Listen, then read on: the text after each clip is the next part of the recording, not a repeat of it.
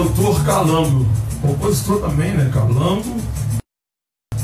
Anderson Santos. A música, da música já era. A música é muito linda por sinal, né? Que samba bonito, né?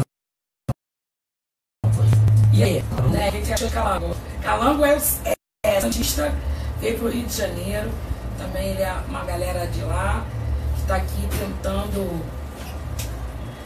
Olha, nessa labuta. olha só, eu sempre digo, sempre digo que é o seguinte, o Rio de Janeiro, ele é um estado assim que, por ter sido a capital é, federal, hoje ele é a capital cultural desse país, e ele abraça. Abraça quem quiser É, chegar. o, o carioca, O ele carioca é é assim. estaleiro.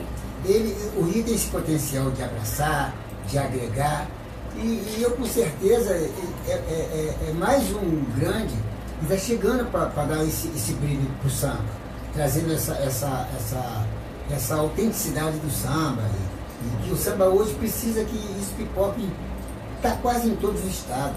Tem um cantinho lá, né, né Bira? Qualquer estado tem um cantinho que se faz do samba. E, No Brasil e no mundo, No né? mundo, né? é, hoje no mundo, eu tava. é, aquela modelo, eu, eu- eu conheci ela em Londres, a, Naomi? a evangelista, Ah, ok. a- que faz o carnaval de.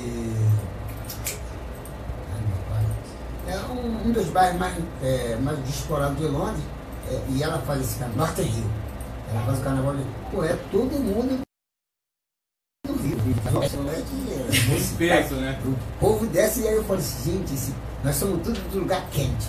É Caxias, é Baixada, é Zona Oeste. É o povo entender. Então eu acho que o samba tem essa Nós estamos aqui também para isso. É, levar essa bandeira aí do E sustentar esse pilar. Então, eu quero saber de você